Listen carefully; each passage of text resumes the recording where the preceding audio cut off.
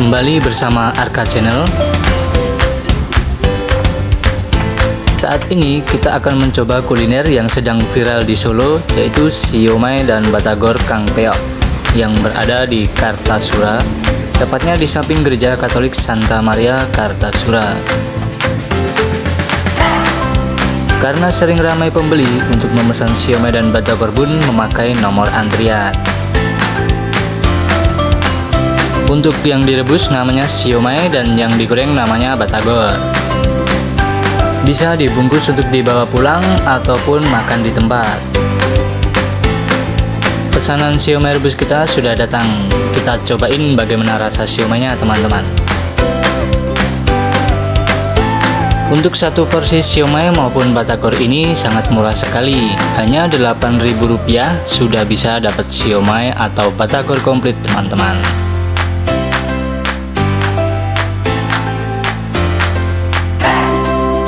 Untuk isi dari siomay ini ada siomay itu sendiri, tahu putih, kentang, telur, pare, dan kobis.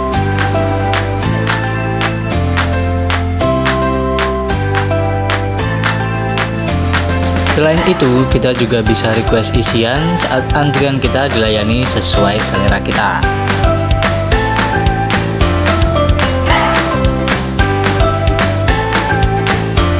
Porsinya juga pas, tidak terlalu banyak, tidak terlalu sedikit. Saus kacangnya juga pas, tidak kental atau tidak terlalu cair teman-teman. Saat makan di tempat juga disediakan kecap dan sambal untuk kita bisa tambahkan ke saus kacangnya sesuai selera kita.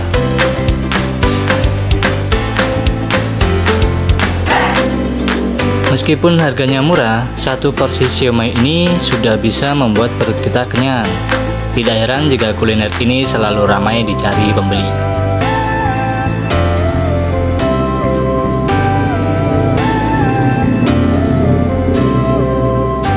Sebelum membuka kuliner di tempat ini, Kang Peok berjualan dengan cara berkeliling dengan sepeda.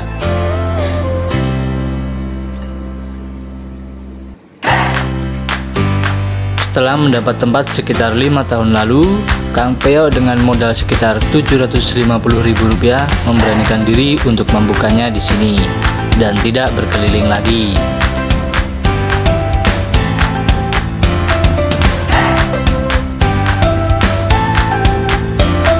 Ternyata idenya ini mendapat respon positif dari masyarakat dan mulai didatangi banyak pembeli.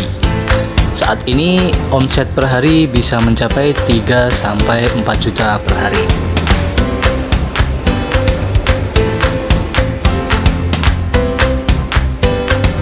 Lokasinya yang berada di barat kota Solo membuat kuliner ini banyak didatangi pembeli tidak hanya dari kota Solo saja. Bahkan pembeli dari Klaten dan Boyolali banyak juga yang datang ke sini untuk membeli siomay dan batagor Kang Peo.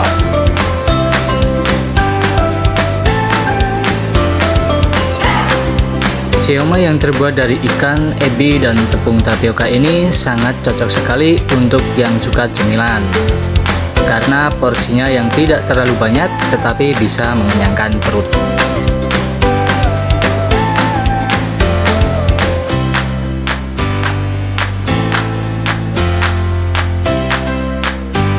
Siomay dan Batagor Kang Peo buka setiap hari mulai jam 6 sore sampai jam 12 malam.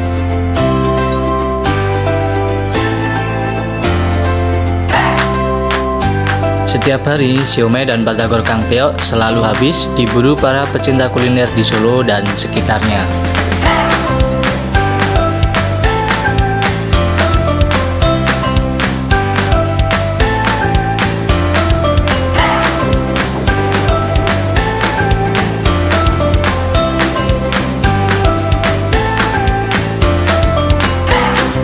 Jika kalian akan jajan di sini, memang harus bersabar karena antriannya yang panjang. Kuliner ini bisa menjadi pilihan menu makan kalian saat malam hari buat yang sedang diet atau yang sedang tidak ingin makan berat.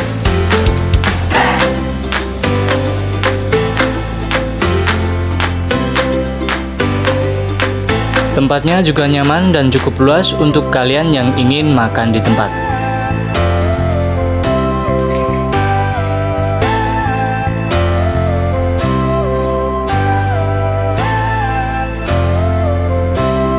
Sudah mau habis teman-teman siomenya. Saus kacangnya ini juga mantap ya, apalagi ditambah kecap dan sambal membuat rasanya jadi pedas dan mantap.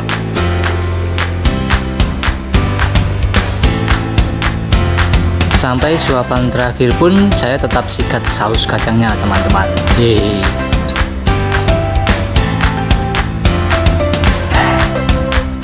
Saya juga bawa pulang satu porsi siomay dan seperti ini teman-teman isiannya. Bagi kalian yang ke Solo, wajib cobain siomay dan batagor Kang Peo ini. Terima kasih sudah menonton.